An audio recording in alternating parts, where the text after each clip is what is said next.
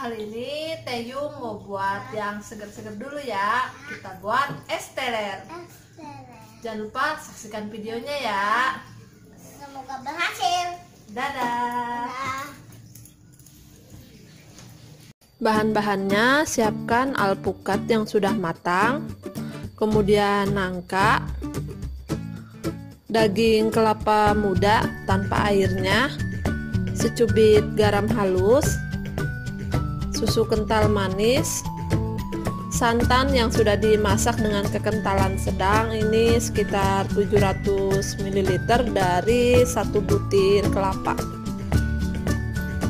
Dan yang terakhir ini ada es batu secukupnya ya. Pertama-tama masukkan garam ke santan, kemudian aduk rata, sisihkan.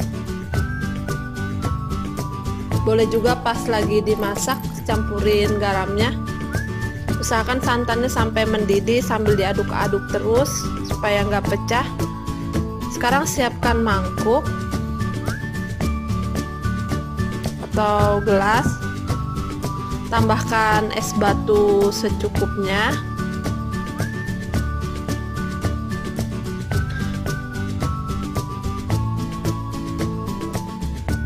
kemudian masukkan susu kental manis ini juga pakai secukupnya.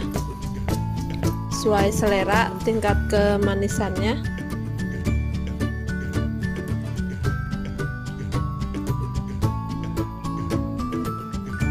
Beri santan yang sudah diberi garam tadi. Sekarang tinggal ditambahkan potongan buah alpukat ini sesuai selera potongnya boleh dibentuk kotak atau memanjang seperti ini.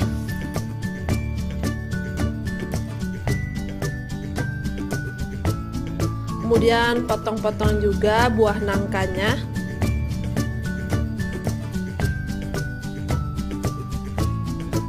Potong buah nangka sesuai selera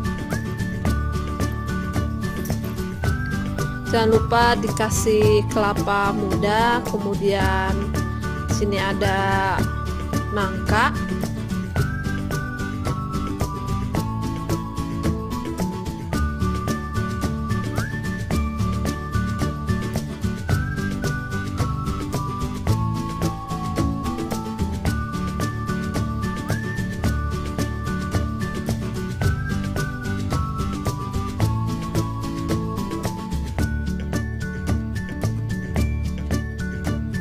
Oke, selesai. Tinggal dikasih susu kental manis di bagian atasnya lagi.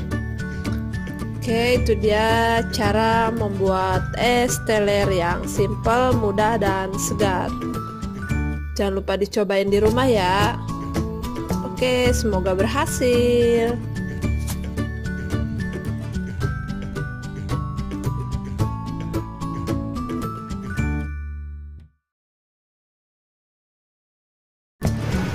kasih telah menyaksikan channel Asahir Tehil. Jangan lupa like, dan subscribe.